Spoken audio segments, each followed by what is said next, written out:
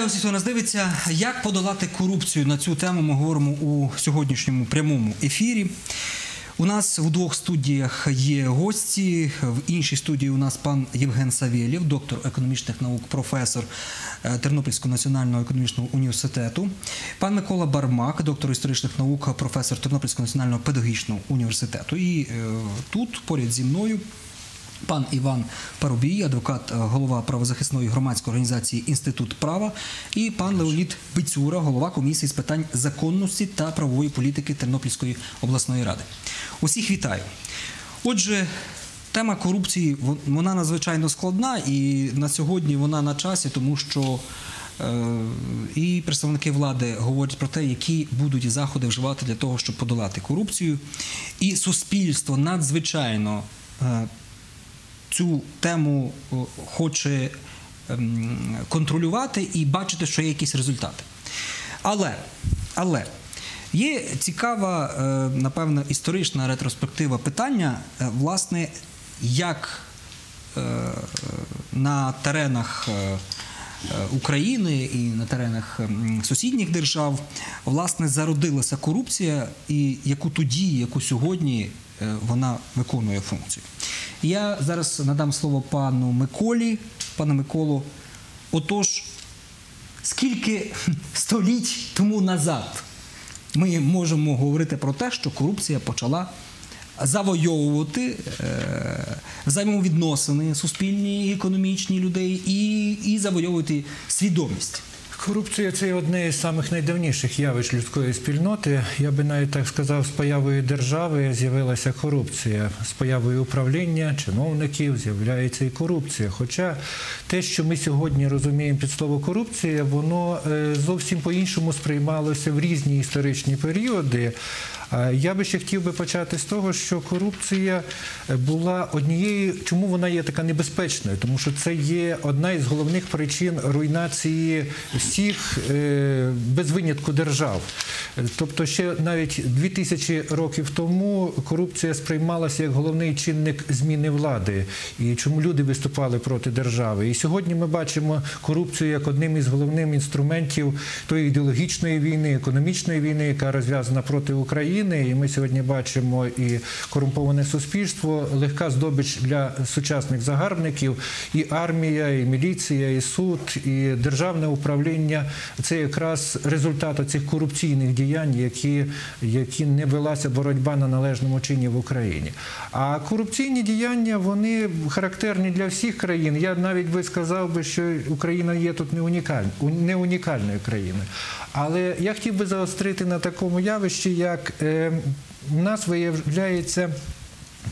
Те, що сьогодні ми розуміємо як корупція, за минулих часів, за минулих управлінських систем, воно приймалося радше за норму. Ну, наприклад, е, за часів Київської Русі е, було е, система кормління, коли державних мужів треба було кормити за те, що вони здійснюють управлінські функції. І це відбувалося і за часів Речі Посполитої, зокрема там посади канцлера, скарбника. Їм не оплачували кошти, а вони е, знаходилися за рахунок місцевих жителів і е, дуже. Маленька грань була між е, приватними інтересами і публічними справами, і е, фактично це означало десь запрошення до корупції. Я навіть можу сказати, що в якійсь мірі і монархічна влада це теж можна по сьогоднішніх мірках е, сприймати як найбільший монарх, як найбільший корупціонер, який міг розподіляти привілеї, спускати їх згори донизу там ієрархічними е, певними щаблями. Е, І давати тим, хто до нього лояльний, а не тим, хто на це заслуговує. Так, Взагалі в Україні унікальне явище, бо ми ніколи не жили в своїй державі. Ми ніколи не жили. Ми, ми як правило, жили під чужими державами і завжди е, пристосовувалися. І для нас корупція носить дуже такий специфічний характер. Це можливість пристосуватися в складних умовах чужої держави, вирішити окремі питання. Тобто, навіть можна говорити в такій, може, крамольну думку про те, що корупція в окремих випадках грала навіть позитивну роль тоді, коли не могли вирішити окремі питання, то й вирішували їх за допомогою корупції, і для суспільства іноді це грало певно позитивну роль. Я можу наводити різні періоди. Е, Кожен період має свою особливість, має період і е, Литовської доби, і періоди козаччини. Я бачив непоодинокі випадки, коли е, серед козацької старшини були приклади корупції, і серед судов, су- су- суддів на Запоріжжі були розпорядження і карали їх доволі жорстоко. Були приклади непоодинокі входження українських земель у складі Російської імперії, і як з цим боролася Російська імперія. Доволі жорстко боролася, на смерть карали. Е, Була навіть був вироблений певний кодекс е, поведінки державного службовця, формальний і неформальний, коли державний службовець е, десь внутрішньо передавав, як брати хабарі. Це теж велике мистецтво народжується. Тобто, в сучасному розумінні корупція це породження нового часу, це період 18-19 століття, який успішно переживає період імперський і розвивається в період радянської України. Ну і корупція пережила і радянську Україну і перейшла успішно в сучасне суспільство. Але більш детальніше я можу розказати про кожен із цих періодів і наводити приклади. Ну, один із останніх радянських прикладів, що мені сподобався, коли е, американський, дослі... е, американський мільйонер Хаммер е, домовився з радянською владою, з Леніним, що він привезе там певну кількість е, вагонів зерна е, до е, Петр... Петрограду. І на, од... на одному із перегонів його директор станції, чи не директор, як він називається? Начальник. начальник станції е, зупинив і не давав йому можливості провести ці, ці вагони, е, мотивуючи це тим, що міст не витримає. Він йому каже, та ти по одному вагону перетягни. Він каже, ні, не можна. Якщо ти мені даш піввагона, то я це перетягну. Ну, правда, вирішили цю проблему дуже просто. Він позвонив Дзержинському, Дзержинський, дав завдання його розстріляти, і на цьому закінчилось. Але е, корупція, скажімо так, не, не закінчилась і в радянський час. Вона набрала зовсім інші, інші риси і, е, і, інші, інші, скажімо, знаки. Так само можна розповідати і про цікаві речі, які стосуються вже і нашого часу, історичного, але це є наш досвід, який ми повинні врахувати і зрозуміти, що корупція це страшенне зло, яке приводить до руйнації будь-якої держави, в тому числі і до нашої держави. Тобто ми з ним повинні боротися. Ну, на, на сьогодні е, про те, що в Україні корупція сягнула дуже великих масштабів, масштабів є вже кілька ну, якихось таких, скажімо, перевірених фактологічних даних. От е, сьогоднішня інформація, що Янукович і члени колишнього уряду відмили 77 мільярдів гривень. Це вже доведено в результаті корупційних дій. 77 мільярдів гривень. Тобто сума, і це керівник держави. Сума дуже велика. Е, Що цікавить, от корупція це система взаємостосунків між людьми. І сьогодні говорять: створимо те, створимо інше. Ми маємо оцю цифру і маємо факт, що це робили ті, хто мали би відповідати, контролювати, гарантувати, що цього в країні не буде. Е, Як на вашу думку, можливо виробити якісь механізми, які можуть от, от, е, цей процес якимось чином ем, ну, заблокувати? Бо ну, були ж і міністри, і прокурори на різних рівнях, але ніхто ж не казав, що е, от в даному випадку винен ж не тільки той, хто взяв, але й ті, хто за це відповідають. Що не можна брати, так? Е, міліція, прокуратура, СБУ. Е, ніяких заяв про те, що в нас розкрадають країну, не було. А отже, ті, хто як по закону, так? той, хто е, знає і не каже, то він теж до цього долучений, навіть якщо не долучений. Співучасник. Отже, ну коротко, на вашу думку, чи можливо це, от бо у нас тема програми як подолати корупцію? Ну, механізми будемо далі розказувати, але перше, от внутрішньо, з правової точки зору, як ви гадаєте, можливо це чи неможливо? Ну, насамперед, як вже ми е, торкнулися історичної довідки, і на мою думку, і напевно на думку багатьох фахівців права, корупцію подолати неможливо. Це природа е, людська, і в цьому є підтвердження історичних фактів. Як кажуть, е, як писав еклезіаст, що немає нічого нового під сонцем. Як воно ставало на сході і сідало на заході тисячу років тому, так і зараз. Це він писав про людську природу. Е, Справа в тому, що творець так заклав в людині, що в нього є певний набір якихось якостей. Це, скажімо, в тому числі і жадібність. Корупція це жадібність. Якщо ми подолаємо корупцію, значить ми викинемо певну частину людини. Це неможливо. Але як її подолати? В нас стоїть завдання. Так? Я би сказав по-іншому. Я великий Ви сказали, що неможливо. Тобто можна частково щось подолати. Частково виправити ситуацію можливо. Ну до нуля звести її не зможемо. Якщо ми навіть е, глянемо на ситуацію світову, то корупція є всюди. Вона є і в Штатах, вона є і в Швейцарії, вона є і в Європі, і в Китаї. До речі, в Китаї історичні факти, навіть е, е, зовсім недавні факти, якщо я не помиляюся, в кінці 2013 року. До е, Чиновника. Засуд, засуджено було, по-моєму, чиновника з Міністерства охорони здоров'я, який дуже багато. Ну, там же такі речі є смертна кара. Так, його було засуджено смертною карою. Він прекрасно знав, що його чекає. І вони І, всі і навіть наявність знали. смертної кари. Наскільки мені відомо, в окремих країнах е, є, е, скажімо, такі закони, де за це можуть там, не знаю, руку відрубати, ще там щось. І, це теж все одно людей не. е, Тобто тілесне покарання, отаке е, жорстоке, не змушує людей відмовитися від корупційних дій. Е, Це І не- на основі цього ви робите висновок, не що це неможливо подолати. Це людей не зупинить. Звести її до нуля практично неможливо. Ну це моя думка. Можливо, хтось і е, я пожму руку і поцілую руку тому, хто знищить корупцію на корню. До речі, що стосується пана Джарзинського, що ми от сьогодні чули, Фелікс е, Едмурд, так, Желізний Фелікс. Е, є історична довідка про те, що було е, скрито його сейф в його кабінеті. В його кабінеті сейф завалений був золотими злитками і різними цінними реченнями. От вам і желізний Фелікс.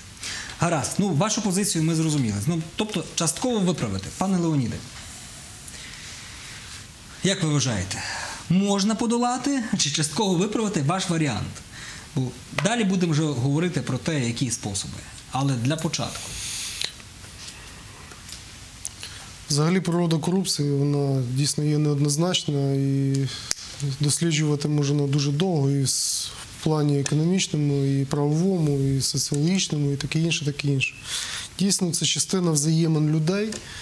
І звести її на нуль практично неможливо. А ще якщо взяти до уваги, що корупція ще має дуже багато проявів, можна є новий термін, політична корупція, ще інше, інше, інше. Але треба розуміти, що в наших умовах для України корупція це загроза національного характеру, це є загроза національної безпеці України. Чому? Тому що вона набула, набула такого розмаху, що вже не бути не, не- перебування поза корупцією для е, урядової системи, для судової особливо системи, воно є неможливе. Це є все частини корупційних механізмів. І чому вдалося Януковичу е, його режиму відмити такі шалені гроші? Тому що це побудований корупційний механізм був. Які це була піраміда, яка е, включала в себе всі без винятку види влади в Україні, тобто починаючи з законодавча, виконавча, судова, на всіх рівнях розподіл, продаж посад. Е, І відповідно е, є основа піраміди, це широка база, так рядових там міліціонерів, судей простих, звичайних там і так далі. І вона наближається до верхівки. На верхівці стояв Янукович. Відповідно, потік грошей був організований. Тобто такої організованої корупційної машини, яка була на території України донедавна, яка фактично зараз ще залишається, в світі, напевно, ніде немає. Саме через це Україна займає останнє місце по протидії корупції в Європі, а в світовому рейтингу ми плентаємося там між африканськими країнами. Говорити про те, що ми на рівні там відсталих країн Радянського Союзу чи третіх країн третього світу вже не проходиться. Ми вже внизу рейтингу і вже далі падати нема куди. Тобто ми найуспішніше все ж таки розвивали якраз корупцію, Втрат... економіку знову ж таки, решту. треба, треба розуміти, що всі сектора економіки, е, вся політика державної машини, вона була розвернута на те, щоб е, цей корупційний механізм національного, е, національного характеру, щоб його підтримувати в дії. І оці всі ланки системи вони працювали. Це є система. Проти системи можна воювати іншою системою. Треба говорити про інше, що Е, Продовж 20 років незалежності України оголошувалося чимало хрестових походів по боротьбі з корупцією. Але так це нічим і не закінчилося. Чому? Тому що не була змінена свідомість громадян. Ні помаранчева революція, ні там боротьба з кучмою, таке інше не дали цей результат. Цей результат був закладений в основі революції гідності. Якщо буквально протягом півроку, періоду, в якому ми зараз живемо, не буде е, чітких сигналів суспільства, не буде резонансних справ, не буде показових арештів, не буде е, показових високих строків перебування за ґратами для чиновників різних рівнів, в тому числі депутатів, в тому числі судей, обов'язково. Суспільство зрозуміє, що його в черговий раз обманули. Корупція для має не тільки економічні, економічні наслідки, економічний е, характер результатів. Це є глибокі соціальні руйнівні процеси. В першу чергу це байдужість громадян, це зневіра їх же ж громадян, це небажання жити в цій країні і таке інше, таке інше. Можна говорити про чимало рейтингів, де Україна займає останні позиції саме через те, що в нас зруйнована система нормального функціонування галузей починаючи від охорони здоров'я, ціноутворення на медикаменти, надання е, якісних медичних послуг, функціонування е, зарплата лікарів і так далі, і так далі, формування самої мережі охорони здоров'я, продовжуючи освітою е, і закінчуючи економікою, бюджетом, фінансами, розподілом державного бюджету в парламентських стінах і так далі, так далі, так далі. Тобто наслідком цих всіх, наслідком діяльності життя корупційного механізму в межах держави є негативна е, сторона в життя українців. Українці живуть зараз в країні банкроту, без зовнішніх запозичень. Ми зараз вирішити свої повсякденні задачі не можемо. Ми зараз є всі учасники країни банкроту. До, цього довели е, ряд влад, в тому числі е, Кравчук, безумовно, Кучма, Ющенко, особливо його заслуга там, і Янукович як апофеоз е, е, будівництва цього корупційного механізму. Щоб було зрозуміло, ніколи середня ланка е, урядування чи там на рівні виконавчої гілки влади, чи на рівні судової гілки влади, вона не зазнавала ніяких змін. Люди залишалися там, і вони відтворювали цей корупційний механізм і його удосконалювали. Тобто Янукович взір... е, такий зробив зірцевий корупційний механізм в межах держави, коли вся держава задіяна в зборі Напевно, коштів. не тільки в межах держави, е, ну в межах держави, але мається на увазі, це був приклад яскравого досконалого корупційного механізму. Пане Євгене, е, ваша позиція. Ну, пан Леонід висловився, що основна боротьба має бути націлена на зміну свідомості, так, і, і мають, щоб підкріпити оце сьогоднішнє бажання людей е, досягнути справедливості і щодо корупційних діянь е, чиновників, мають бути кримінальні справи. Е, Ваша думка, от це можна подолати, частково подолати, і на що має бути в першу чергу націлена система, нова система протидії корупції? Ну, мені здається, що ті точки зору, які е, зараз були висловлені, вони певною чином всі е, мають право на те, щоб їх брати на увагу. Але, як завжди, в будь-якій справі нам треба пошукати ну, головну е, причину, головний корінь, головний вузол, взявшись за який можна розв'язати проблему. І зрозуміло, тут йшлося вже і про історичні підходи. То ми зараз знаходимося на такому етапі історичного е, розвитку, що головний корінь все ж таки е, знаходиться в економіці. І ті е, показники, які говорили, ви називали на початку, що тільки сім'я Януковича з, тих документів, які протягом одного місяця вдалося знайти, змогли е, реалізувати на 77 мільярдів гривень корупційних заходів. Тобто це говорить про те, що корінь зла сьогодні перемістився в економіку. Звичайно, можна говорити про вторинну корупцію, про чиновника, про вчителя, е, е, лікаря, е, суддю і так далі. Але масштаби не ті. Але тут уже йде перерозподіл е, деякі, так сказати, кусочки вони е, відбирають. Перерозподіл переважно між е, приватними особами. Але найбільша корупція, і там йдеться про мільярди, десятки, іноді сотні мільярдів доларів е, корупційних потоків, які присвоюються, які ховаються, ховаються в офшорах, ховаються в банках інших країн, ховаються навіть в кабінетах. Ми бачили міністра, де були, так сказати, е, е, на вагу кілограм золота, який він не встиг просто винести з особистого кабінету. Тому сьогодні е, е, в теорії є таке е, е, поняття, як е, дискреційна влада. Тобто це та влада, яка дає право на розподіл, яка дає право на те, щоб приймати рішення на свій розсуд. У нас в нашій країні ця влада була доведена до максимуму. Тобто за конституцією президент, який був, мав право призначати міністрів особисто. Тільки прем'єр-міністра він погоджував е, з Верховною Радою. Міністри, заступники міністрів і так далі призначалися ним. Не випадково один регіон, навіть одне місто було представлено майже всіми міністрами і заступниками міністрів. В Криму, який ми втратили, там також влада була не кримська, а там також влада була того регіону.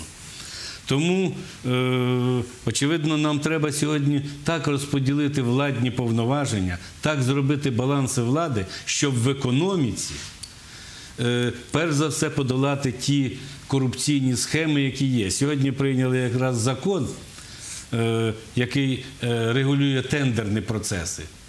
Мені здається, що це один із таких головних, так сказати, незважаючи на суспільний тиск, е, сьогодні депутати цей закон приймали аж з другого разу.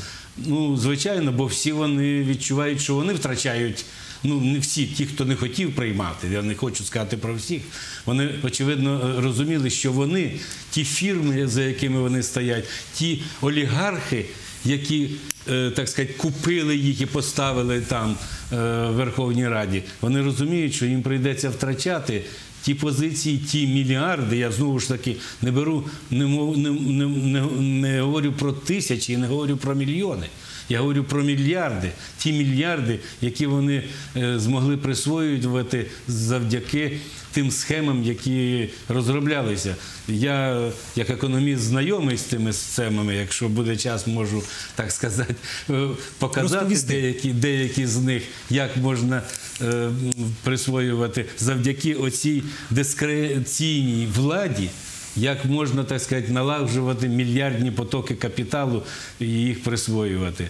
Дякую. Отже, е, на вашу думку, головна увага суспільна е, нової системи боротьби з е, корупцією має бути зосереджена на проблеми в економіці і розосередження влади в одних руках. Я нагадаю нашим глядачам, що ми працюємо у прямому ефірі. Е, Тема в нас як подолати корупцію. Якщо у вас є свої рецепти, свої побажання, ваші думки, ви можете телефонувати за номером 25 25 97. Він у вас є на моніторах ваших телевізорів. Будь ласка, пане Микола. Я хотів би зробити кілька реплік, тому що тут у нас цікава розмова. І хотів би сказати, що е, боротьба з корупцією це далеко не є така безнадійна справа, яка би так на перший погляд видається, тому що виникає для чого боротися з корупцією. Є позитивні приклади, так? Так, є позитивні приклади. Той же саме Фінляндія, яка вийшла з Російської імперії, е, стала однією з найуспішніших країн сьогодні світу, бо вона поборолася і де найменший рівень корупції. Та є і свіжіші приклади. З Радянського Союзу вийшла Естонія. Рівень е, корупції в цій державі за рейтингом сьогодні навіть е, нижчий, е, ніж в Італії, ніж в інших європейських державах. Тобто є приклади успішної боротьби, і зараз ми бачимо і Грузію успішний приклад. Тобто нам треба прагнути до успішної боротьби. І ще хотів би сказати, що ясно, звичайно, що неуспішна боротьба нашої попередньої історії і української незалежної заключалась в тому, що з корупцією боролись ті, хто практично фактично і були саме найбільшими корупціонерами. Я дивився, коли показували антикорупційний комітет біля президента. Ну бери, не соромся і кожного бери сади е, без суду і слідства, по крайній мірі. Ну, може, якісь невеличке для того, щоб було збережено. Е, Корупція це є головне зло, яке оцей найнижчий рейтинг сьогодні, який сьогодні має Україна, це вже ми констатуємо факт. Ми по великому рахунку мусимо відверто сказати, що сьогодні ми з вами свідки фактично руйнації розпаду української держави. Сьогодні відбулася окупація частини території України. Сьогодні збройні сили України не зробили ні одного вистрілу, ні армія, ні флот. Ми практично маємо правоохоронні органи, які не готові навести порядок в половині України. Це результат корупції. І е, відповідно, я б навіть так сказав, бо той соціальний зрив і майдан це був результат корупції, тому що люди не хочуть жити в тій системі. І якщо сьогодні ми не поміняємо цю систему державного управління і е, не створимо умови для того, щоб корупції в нашому суспільстві, якщо не було б, то була б мінімальною, хоча б на рівні, хоча б залишилась побутовою корупцією, то е, ми не будемо мати держави. Ми повинні бути свідками того, що е, українська держава як держава зникає. І ми маємо вже багато прикладів, коли наші однолітки, молоді люди, які по Європі без якихось засобів додаткових приїжджають в чужу систему управління і там успішні є. А тут в себе вдома вони не можуть бути успішні і не можуть реалізуватися. Саме тому, через що, тому що корупцію. корупція є невід'ємною частиною державного управління в Україні. Тобто повна руйнація цієї системи державного управління усіх сфер і формування нової. Але ми зараз в дуже складній ситуації, тому що в нас одночасно проходить три різних процеси. У нас відбувається е, революція гідності, у нас відбувається військова окупація, у нас відбуваються вибори. І, чесно кажучи, четвертий процес, про який мало хто каже, але в нас е, гряде громадянська війна внутрішня, яка в принципі спровокована нашим другом сусідом. Але всі разом ці чотири процеси вони ускладнюють е, ті події, які відбуваються в нас в Україні. І я, як історик, можу навести приклад е, 17-го року формування радянської влади в Україні, боротьба радянської влади із Центральною Радою. Тобто так Центральна Рада себе поводила в 17-му році, коли не хотіла збройні сили розбудовувати. Точно е, радянський е, уряд формує Українську Народну Республіку, яка була точно такою ж самою за назвою. Зараз ми бачимо приклад Майдан, антимайдан, самооборона. І всі ці методи вони були в історії використані дуже успішно. Я б хотів би, щоб ми подивились на корупцію як на глоб- глобальне явище і як основну загрозу сьогоднішньому функціонуванню і існуванню української держави. Дякую. Ми послухаємо зараз е, глядача, а потім продовжимо. Будь ласка. Говоріть. Алло, Так, доброго вечора. добрий вечір. Ну, перш за все, хочу висловити свою подяку за е, телебачення за те, що підняли таку, на мою думку, надзвичайно актуальну тему. І хочу сподіватися, що це не остання передача на цю тематику, і вона буде мати вже більш предметне продовження. Моє прізвище Тарас, я звичайний пересічний тернополянин. Відповідаючи на ваше питання, яке йде в заставці, як подолати корупцію, є дуже проста відповідь: одним не давати, іншим не брати. Ну, але це якщо так, жартома. А якщо серйозно, ну корупцію, на мою думку, подолати неможливо. Вона буде завжди, поки будуть люди з їхніми слабкостями. Е, що, напевно, треба було би робити, чи що було би передумовою подолання корупції? Це такі якісь окремі неперечесані думки. Ну, перше, як передумова, це ми повинні відчути себе громадянами. Громадянами не в совєтському тому розумінні гражданин пройдемте, а громадянин в розумінні французькому і сувереном влади. Тобто ми є владою, а ті чиновники, які виконують певні функції управлінські, які ми їм делегуємо, вони нам підпорядковані. І коли ми це зрозуміємо, ми почнемо зовсім по-іншому до цього відноситися. Це складний шлях, звичайно, але до цього, напевно, поки ми не пройдемо, то е, розмови про корупцію будуть е, довгі. І ще пару слів буквально. Ну, надзвичайно важливо, як на мене, я можливо запізно включився в дискусію, але я не почув. Ну, однією з умов основних це е, є прозорість влади, прозорість прийняття рішень, прозорість використання бюджету, скажімо, прозорість призначення на посади по тих квотах, коли там перші, другі, семі, восьмі призначають своїх людей без урахування професії, професійності, досвіду роботи на тій чи іншій посаді чи в тій чи іншій галузі. І напевно саме мова йде тут. Я не почув про політичну корупцію, а це політична корупція. І можливо, е, на мою думку, можу я помилятися, але якраз політична корупція на всіх рівнях призвела до того, що в нас з'явилися межигір'я, золоті батони і все решта. Тому все це надзвичайно складно, але дуже радує, що питання порушуються і якимось чином, я думаю, до людей це дійде, що головна біда наша сьогодні корупція. Я бажаю всім успіху. Дуже вам дякую. Дуже вам дякую за ваш дзвінок. Ну, тут е, справді були і слушні зауваження, і те, що ми ще будемо обговорювати і обговорювати і щодо політичної корупції, і щодо того, щоб якраз громадяни контролювали процес, контролювали владу, контролювали політиків і, звичайно ж, призначення е, тих чи інших керівників. Е, На сьогодні е, центральна влада робить кроки на те, щоб долати корупцію. Ми вже говорили про те, що у Верховній Раді прийняли один з законів, який мав би долати корупцію. Але у нас дуже багато всіляких прийнятих законів, але не всі вони сприяють тому, щоб долалася корупція. Е, Я зараз е, попрошу дати відеоматеріал до ефіру, власне, те, як там пропонується е, долати корупцію, і що пропонує сьогодні уряд. А потім ми вже обговоримо детальніше і ці пропозиції, і те, про що ми сьогодні говорили.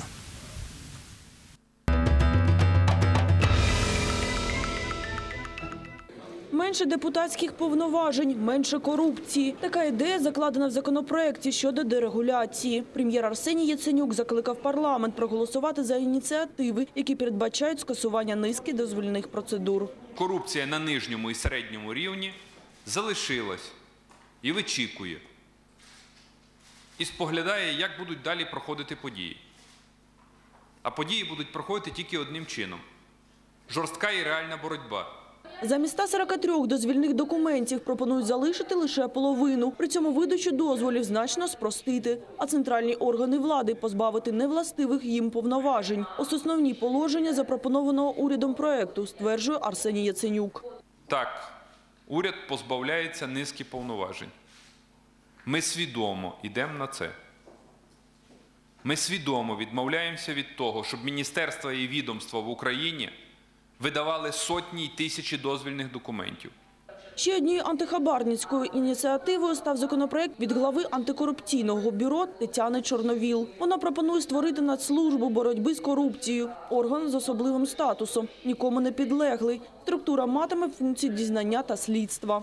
Зокрема, ми ключ- включаємо в підслідність не тільки посадовців першого, третього рангу, ми беремо більш високий ранг, тому що інакше взагалі буде стільки справ, що орган не справиться, тобто вище беремо, беремо верхній зріз піраміди. Однією з функцій національної служби може бути самостійне представництво за кордоном для повернення грошей і майна. Також проект передбачає внесення змін до кримінального кодексу. При цьому максимальна чисельність такого органу близько півтори тисячі осіб. Планується шість регіональних представництв.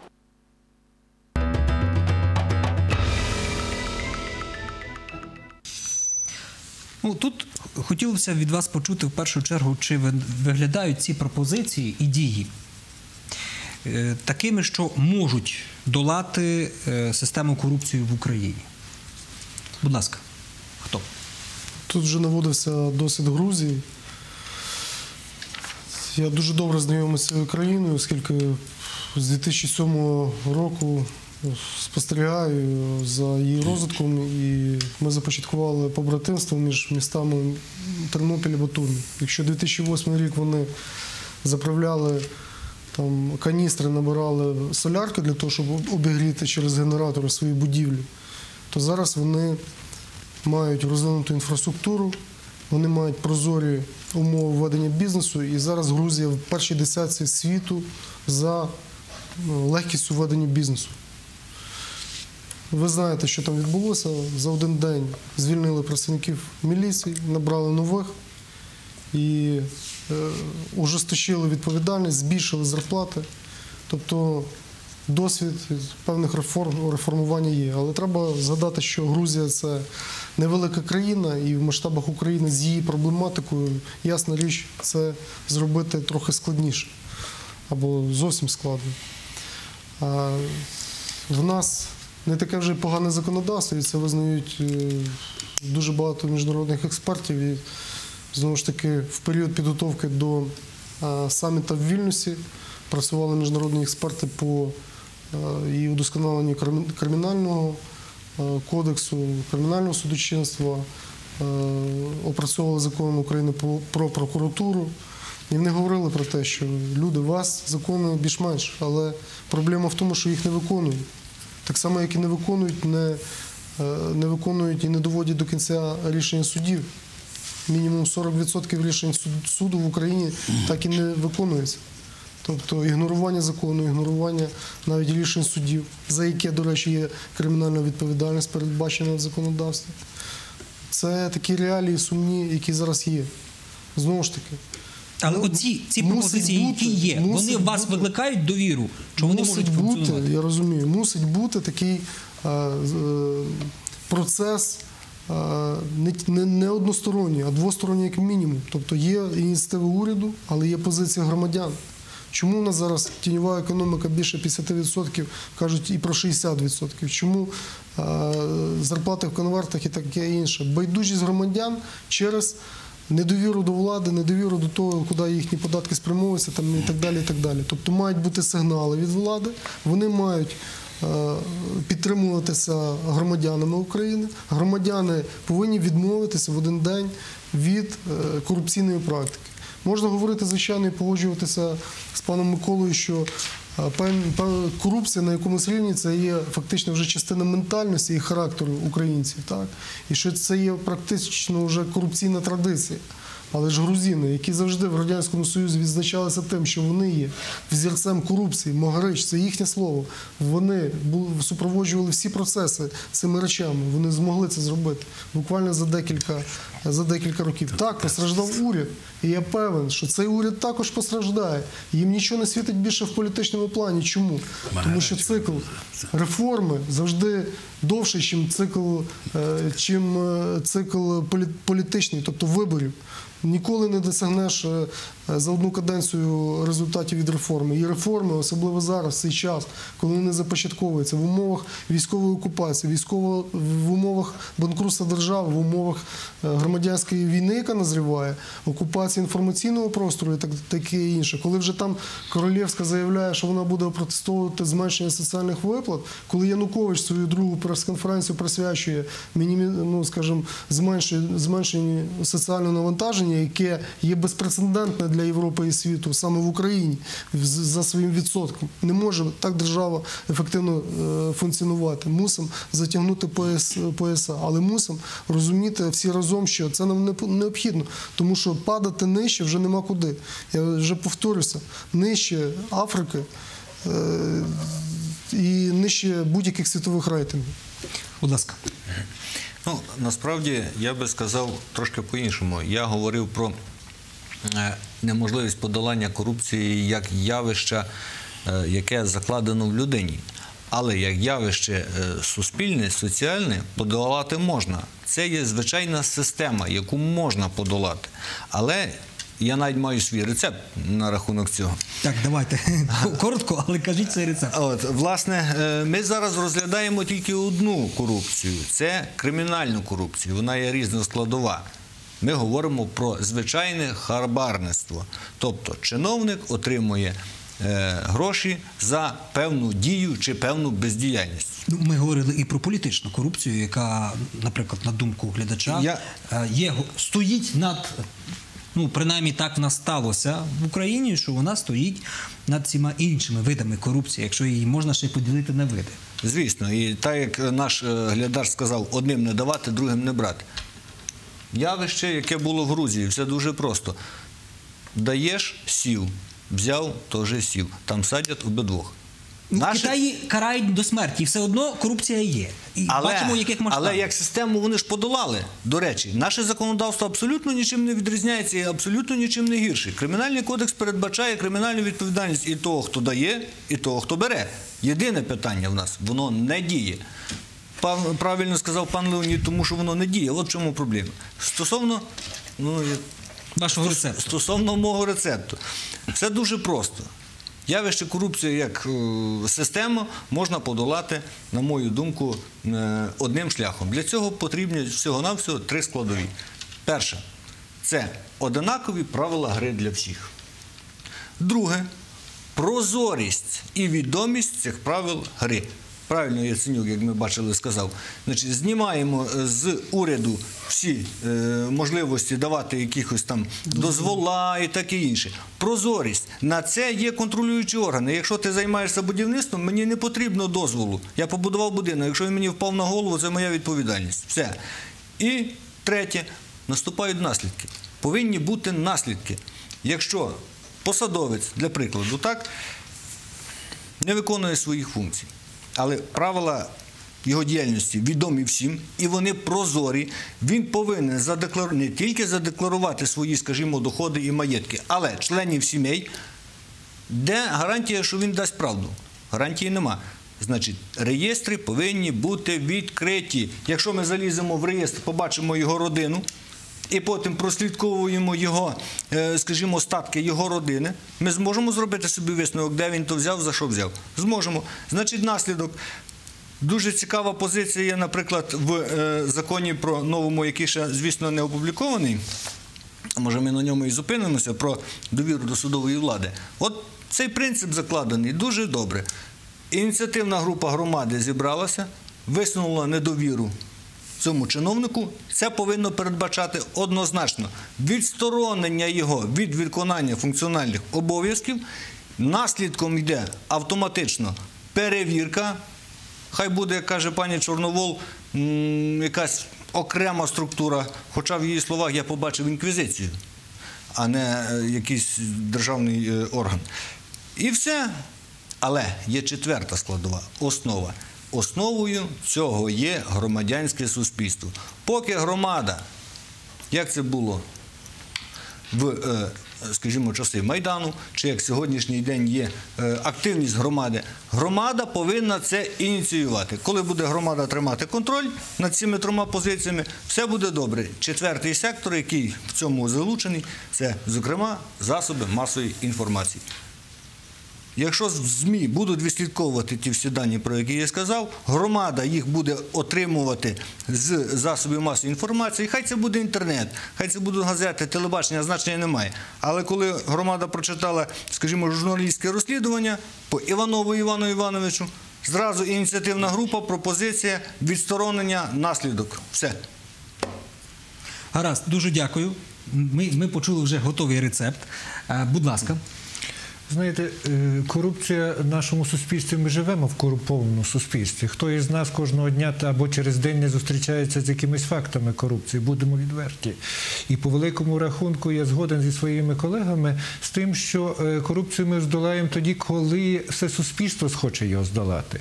Але людям треба пояснити, для чого треба здолати корупцію. Тому Тобто що ми мене- повинні дати людям мотивацію. так, для мене І- і ця людям треба повинна сказати подаватися- для чого. І я хочу вам сказати, що корупція в світі пов'язана з бідністю, і причому в оберненій пропорції. Ми повинні сказати, чим вища корупція, тим бідніша країна. Тобто, якщо ми хочемо жити в багатій країні, ми повинні бути е, в бідній, е, в мале- маленька, маленька корупція. Це є приклад, який, допустимо, Австралія, яка була країною 100 років назад з найвищим рівнем корупції, а потім стала зараз однією з найбагатших країн і найменший рівень корупції. І така ж сама характерна риса, характерна для всіх. Треба мотивацію людям дати, тому що якщо я знаю, що я можу вирішити проблеми, якісь, які стосуються мого побутового реального життя, відкриття бізнесу, якісь інших питань, і можу це обійти е, закони, норми, то тут, звичайно, я буду цим користуватися. Але якщо я побачу і вигоду в цьому для себе, в тому, що я живу не в корумпованому суспільстві, суспільство це підтримує.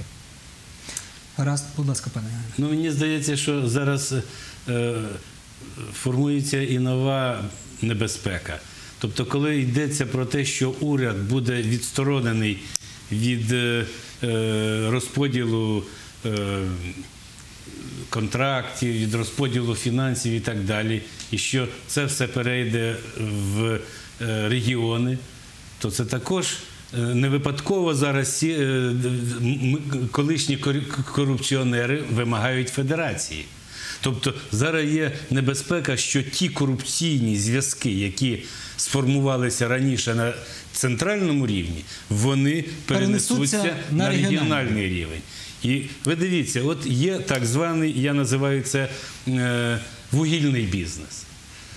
Вугілля неякісне, українське з високою зольністю продається у нас за державними цінами по 110-140 доларів за тонну. В той час, як, наприклад, європейська ціна 80 доларів. Навіть є нижчі е, ціни. Ну, наприклад, наприклад, колумбійський, колумбійське вугілля якісне також, коштує 45 доларів за тонну. Так що цей, до речі, в державному бюджеті в зв'язку з цим передбачено аж 13 мільярдів гривень на цей рік. Я знову говорю про мільярди на фінансування вугільної е, е, галузі. А, адже підприємства повинні давати прибуток. А нас 13 мільярдів виділяється на фінансування цієї галузі, і це не перший рік. Це кожного року такі ситуації, особливо при останній владі ми бачили. І ми знаємо, що це ті гроші, які підуть в пісок, які не підуть на відновлення вугільної промисловості. Ми бачимо, що вугільна промисловість за 20 років е, незалежності не покращила технічно, е, економічно і так далі. Тобто е, це дуже, дуже важливо зараз побачити оці всі глобальні економічні зв'язки і побачити те, що вони виходять за рамки окремої країни. Корупція стає міжконтинент- міжконтинентальною, міжнародною. От. А те, що торкається е, Ну, всі е, дуже багато зараз людей наводять приклад е, з, ем, з Грузією. Так, там вийшло непогано в поліції, під, скоротили людей, підвищили різко заробітну плату. Але ми можемо подивитися на наш досвід. У нас заробітна плата е, міліції і багатьох силових культур, е, структур також Ну, зокрема, суддів. суддів. Та. Це, це надто висока. Зарплата зросла, Зарпла... Корупція зарплата, а ще корупція зросла ще більше зросла. Тобто судді явилися якраз тим, е, е, тим ланцюжком, який ще більше. як, який сприяв е, загальнодержавній корупції. Тобто на нашу ментальність це може не спрацювати. Будь ласка. Я в даному випадку хочу навести такий при- приклад. Мій колега, професор з Германії, він казав з Німеччини, він казав так, що йому його науковий керівник казав: не дай Бог навіть попросити прикурити у студента. Відразу ти ніби на екзаменах вже будеш психологічно якось від нього залежним. Тобто факт виховання ми повинні також е, використати. Ви дивіться, як виховала, е, виховали російські засоби масової інформації Крим. Так, це результат. Тобто, тобто можна інформаційного зубування. Можна, можна так сказати, виховувати націю, народ, починаючи з дитячого садочка. Гаразд, будь ласка. Я маленьку репліку хотів сказати, що е, різниця між нами і Грузією не велика зарплата у посадовців, е, суддів і всіх інших, але у рівні контролю. Грузія отримала велику масу іноземних грантів, європейських грантів, а Європа і Америка гроші просто так не розкидає. Я був на гранті і я пропонував систему, за якою я пропонував якийсь, е, скажімо, проект. І мені давали по частинках. Я цю частинку використав на ті цілі, які мені передбачалися. Тоді давали другу частинку, третю. Тобто не просто давати гроші, але контроль. Мені здається, що не треба боятися віддавати гроші на низину, давати громаді. Громада, хто як не більше громада, проконтролює, як розподілились ці кошти. Звичайно, це е, в Болгарії так само я помітив зі своїми колегами, спілкуючись. Вони теж говорили, коли вступали в Євросоюз, у них така ж сама проблема корупції і всіх інших моментів. Але їх спасло те, що був верховний е, суддя Євросоюз, який давав гроші і який слідкував за тим правильним їм використанням. Вони казали, да, ми розуміємо, що вам треба гроші ще кудись. Але як ви взяли на цю програму на сільське господарство, використайте тільки на сільське господарство, на іншу статтю ви не можете, на дорогу ви не можете використати. І таким чином потрошки оці кроки, маленькими кроками підніматися із того болота, в якому опиняється і держава, і наша, зокрема. І тут громада, її роль дуже важлива, тому що хто як не ми знаємо, хто як живе, хто яку квартиру, хто який будинок, хто якій машині їздить. І все це принесення гласності всіх цих подій посадовців зіграє певну роль. Звичайно, що е, я теж не все підтримую ті інквізиторські заяви наших деяких урядовців, тому що навіть і на смерть карати все одно е, це не припинить е, того рівня корупції, а можливо ще зробить більш такими м, складнішими. Якщо, Якщо вже брати, якщо брати так, то вже брати багато. оцінюватися. Я думаю, що треба теж в напрямок, в якому йде сьогодні уряд. Е, Зменшення документообігу, електронний обіг, передача коштів на низ, вирішення на низу, але чіткий жорсткий контроль по розподілу коштів. І я думаю, що за кілька років ми зможемо побачити. Я не скажу, що ми вийдемо в нормальне середовище, але побачити хоча б перші кроки. Але як тільки ми побачимо перші кроки позитивні, люди повірять владі, люди повірять державі. Бо якщо так далі буде продовжуватися, то ніхто не захоче жити в цій державі. У мене є два питання, оскільки часу вже не так багато. Е, Ви, пане Миколо, сказали, що корупція сьогодні загрожує, що треба дивитися глобально. Вона загрожує сьогодні державності України, тобто цілісності України, чи взагалі така держава існуватиме. Скажіть, будь ласка, от е, це питання до усіх. На е, тоді на, на, на що в першу чергу має бути направлені сьогодні дії громади і влади, щоби забрати от цю найбільшу загрозу? Ми повинні сам передумати про найбільшу загрозу, а потім вже далі рухатися щодо корупції. Будь ласка, Ну, щодо дій громади, я вам ну, от, От дуже, дуже в цьому питанні так. От, Де є найбільша загроза щодо, от, е, ну, якщо ми говоримо, що корупція сьогодні загрожує цілісності держави, так, то є різні щаблі. Тобто, де, де цей найбільш, е, найбільша ця загроза, де вона захована, ця корупційна загроза? Ну я би сказав інше. Ми повинні би глянути на суспільство е, в цілому, і навіть з такої точки зору дещо філософської. Є така піраміда Маслову, яка каже, що в основі життя лежить економіка. Все інше це і надбудова, це базис. На мою думку, саме простіше зняти всі корупційні схеми це запустити, зробити механізм, запустити в Україну інвестиції міжнародні. Якщо сюди прийде, скажімо, е, німець, поляк, француз, е, австрієць зі своїми грошима, зі своїми інвестиціями, він ніколи вам не дасть за певні якісь речі, е, ну, скажімо так, хабар, так є. Він не так вихований, як ми вже говорили, і він цього просто не розуміє. Друге питання, що нам потрібно просто негайно зробити, це питання судової влади. Якщо в нас буде нормальна, незалежна судова гілка влади, жоден ні чиновник, ні комерсант, ні хто будь-то інший не зможе порушувати закон. Будь то в системі корупції, будь то кримінал, будь то господарське право, таке інше.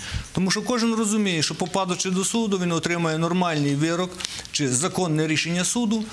І на тому все е, станеться.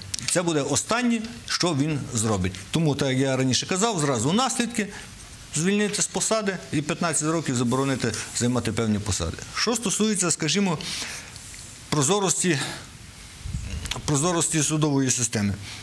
Я би казав, щоб громада в нас судові е, засідання відкриті. Будь ласка, експертна комісія, скажімо, з п'яти чоловік зайшли в судове засідання, подивилися, юристи визначили, є порушення процесу, нема порушення процесу. Знову ж таки, з наслідками.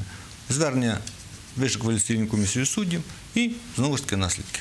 От. Раз дякую, будь ласка. Ключове е, є такий принцип: е, безкарність породжує безвідповідальність. Тобто ясно, що от невідворотність покарання це повинні зрозуміти всі. Від пересічних мешканців до закінчуючи до осіб, які наділені владними повноваженнями, а вони вже розміщаються на всіх рівнях, починаючи там від сільського голови, сільських депутатів, закінчуючи прем'єром, міністрами і таке інше. Я вам приведу тернопільський приклад. Є, ми чудово знаємо, що така служба ДАІ. Ото після е, Революції Гідності вони перестали збирати касу для своїх керівників. Що це обернулося? що вони зараз протоколи складають на всіх підряд. І жодні дзвінки, жодні там посвідчення Посадовець не можуть, посадовець. не можуть спрацювати. Ви думаєте, вони того не хотіли? Та вони хотіли. Але їм давали колись задачу. Тисячу гривень з доби він має принести. Коли не, не брав хабарі, не назбирував тисячу гривень з водіїв, він Звільняв. приносив з дому. Він приносив з дому, брав кредит, ще щось там і мусив віддавати гроші. Тобто є певні зміни вже, вже є. Там, де на контрольованих ділянках автомайдан, громадяни, активісти, вони контролюють. Там, де є контроль громади, там зміни є. Ми можемо це зробити. Дякую, будь ласка. Я думаю, що сьогодні для України дуже важливо відділити владу від бізнесу. Перше президент. Той президент, якого ми оберемо, повинен продати відразу на законних підставах, не на підставним особам, а на законних підставах з, участю іноземних компаній і так далі, продати повністю свій бізнес. Теж торкається наступних там прем'єр-міністра, депутатів і так далі. Йдеш до влади, продай бізнес. Не хочеш продавати бізнес, не йди до влади. Тому що е, проблема України і проблема української корупції, і проблема того, що Україна на 144-му місці у світі по е, корупції, полягає в тому, що у владі сиділи бізнесмени. Дякую, будь ласка. Я як історик хотів би, погоджуючись з моїми колегами, сказати, звернути увагу, що е, корупція сьогодні стала інструментом знищення української держави. За всі час, за весь час існування української держави зараз стає відомо, Росія не погоджувалася з існуванням української держави. І все те, що робилося таємно, це підрив економіки України, підрив збройних сил України, підрив судової системи України, підрив всіх інших устоїв нашої держави. Все це робилося лише з однією метою. Ви не звернули увагу сьогодні повідомлення про те, що 15 травня мають підписати здається, Євразійський е, черговий союз, і ми йшли повними кроками. Якби не майдан і не ці події, ми б вже були. Тобто, ми хочемо змінити систему. В тому ми є загроза для нашого сусіда, і він буде все робити, щоб е, а корупція далі продовжилась в Україні, або знищити державу Україна як явище, показати, що ми є неспроможні і е, власне повинні війти в єдиний союз, де ми будемо себе почувати щасливими. У нас е, єдиний шлях або побороти корупцію, побудувати нову систему державного управління, або зникнути як держава. Гаразд, я вам всім дякую за участь у програмі. Дякую тим, хто нас дивився і хто телефонував. Бувайте здорові!